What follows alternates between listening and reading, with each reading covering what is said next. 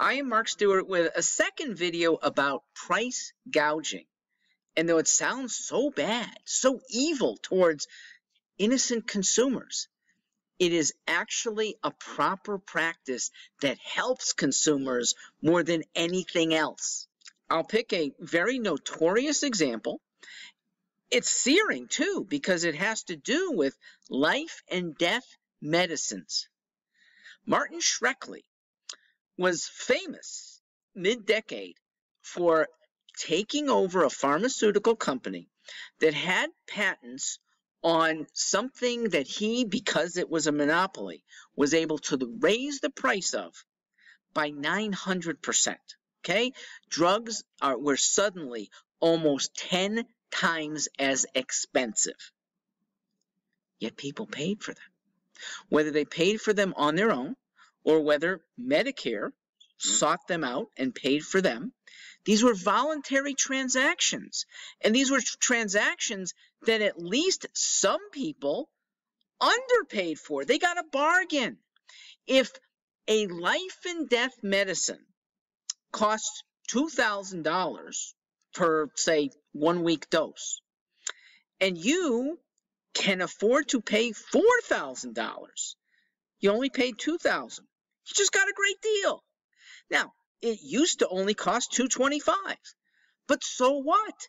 The people voluntarily paid to have medicine and in the absence of the ability to raise prices, those medicines might not get created in the first place. The politicians who want to stop price gouging are ones who are going to interfere with the development of important things in the first place. Now, important is not for me to decide, and certainly not for the politician to decide. Important is decided by supply and demand. The marketplace determines what is important. And if an entrepreneur in the pharmaceutical industry can see that there's something that is underpriced, and yes, he can make more money from it, but more importantly, those goods go to the people that need it the most. They're not being squandered by somebody who really couldn't care less and it's so cheap, well, we'll hoard the stuff anyway. Now, here's the most important aspect. More important in a life and death thing than anywhere else.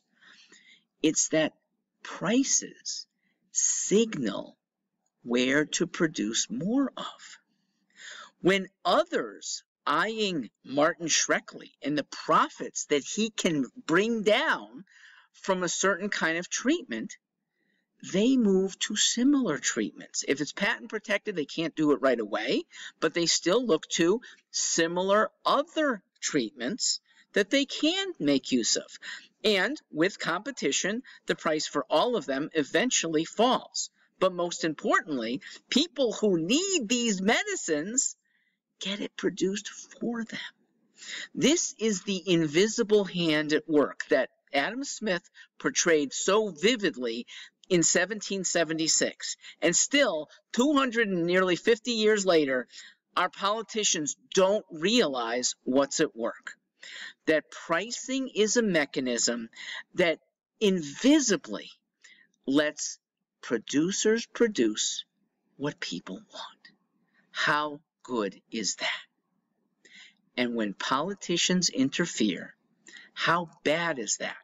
Not only for profits, but for the people who need it. That's the people I'm most concerned with. As for profits, politicians don't look out for the entrepreneur who makes an investment that sometimes loses. Okay, they're not insuring against an overpriced and under-demanded thing, so they really shouldn't be on the opposite end curtailing price rises that happen only because the demand for their product is there. Willing, able, free market transactions, they should not be interfered with. I'm Mark Stewart.